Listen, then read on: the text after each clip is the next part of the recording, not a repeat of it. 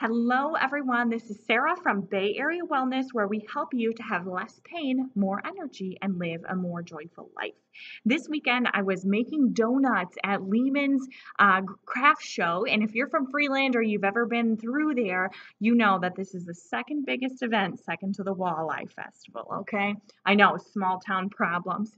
But um, it got me thinking that a lot of people work on their feet all day. And I know how sore I was after one day or two days.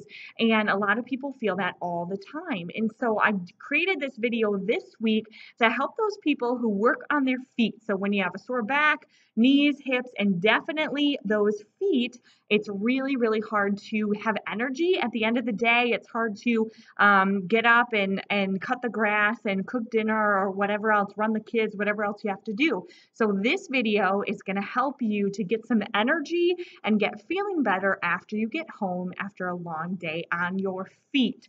So um, I know, heck of a title there. Also, be sure to check out our three strategies to decrease your pain webinar. So this is a great way um, to figure out how to have less pain if you deal with a lot of pain. So it's an easy webinar. It is, um, you can watch it on YouTube. It's super easy to do. And you just go to www.mibayareawellness.com to sign up. Okay, so here are our strategies for today.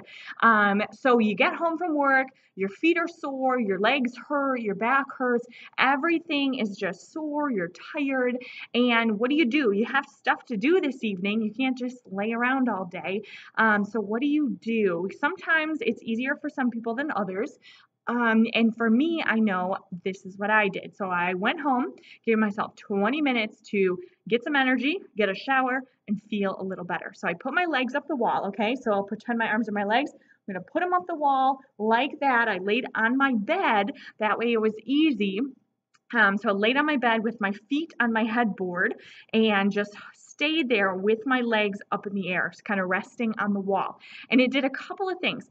First and foremost, it's going to, going to let any swelling, any extra fluid build up, any toxins that are stuck in my feet or in my legs kind of just drain down so that the rest of my body can take care of it.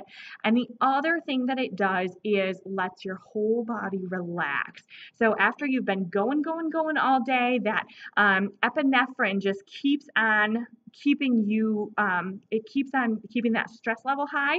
And so by sort of resetting with our legs up the wall, it's going to help you to relax, help you to calm down, and it'll help you to feel a little better, which is the goal, right? So be sure to do that legs up the wall. I did it for like 10 minutes. Then I jumped in a quick shower, got out, and gave my feet a little massage. Okay. Now, if you don't feel comfortable doing this, or um, if you can't shower and you have stinky feet from the day, you can always give yourself a massage with a tennis ball, aka a dog toy.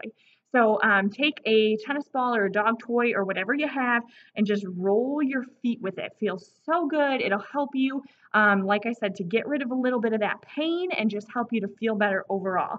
The next thing I did was foam roll my muscles. I know that my glutes, my hamstrings, my quads um, were really, really tight, really sore. And so I used a foam roller and rolled out all my leg muscles. And this made it feel so much better.